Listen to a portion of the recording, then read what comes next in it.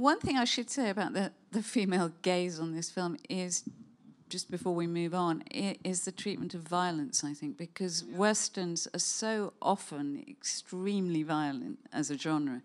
And there's probably three moments of violence in the film, one of which is Catherine being spat at, another one is Catherine being stoned, and then, um, and then there's what happens to Sitting Bull at the end of the movie.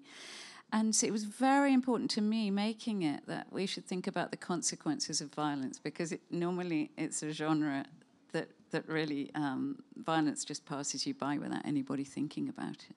So so that I think that was an important aspect of, of a woman directing the film. I